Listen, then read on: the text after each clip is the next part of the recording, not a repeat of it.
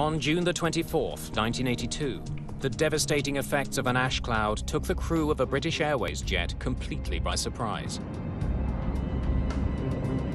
Windscreen.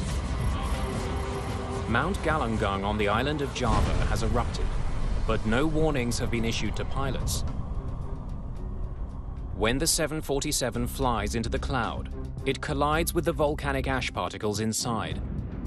The friction creates a bright shimmering glow on the windscreen. No idea what they were looking at.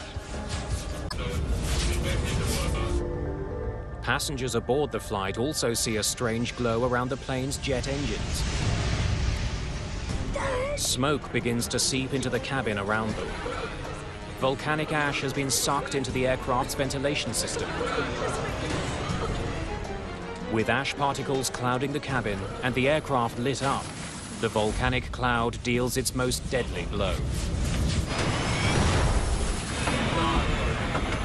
Engine failure. Number four. Fire action, number four. Check. The ash has snuffed out one of the jet's four massive engines. Closed. Start lever. Off. Number two engine's gone. All right then, begin the engine shutdown. No, wait!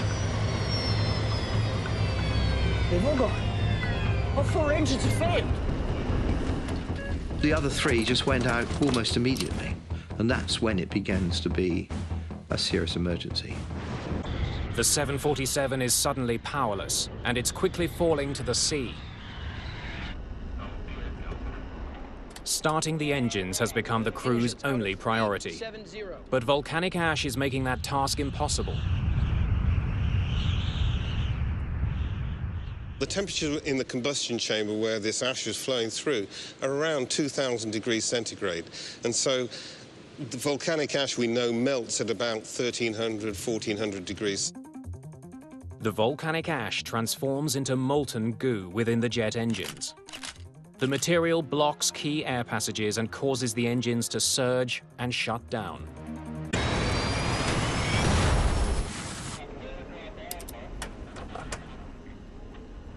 Roger, declare emergency. Have less than half an hour before their aircraft will crash into the Indian Ocean. All right. Begin restart drill. Set. Battery. Check. On. Then, with just 12,000 feet separating British Airways Flight 009 from the ocean, engine number four roars to life.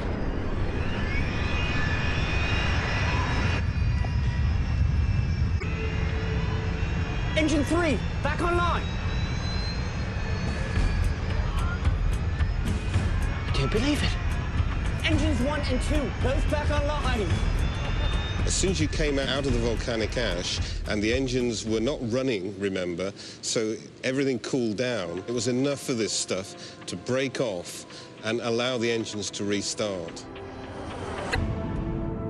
British Airways Flight 009 landed safely. No one was injured, and an important lesson was learned. Airways Flight 009's emergency landing in Jakarta, communications were improved between the geologists who watch volcanoes on the ground and the pilots who must avoid the ash clouds.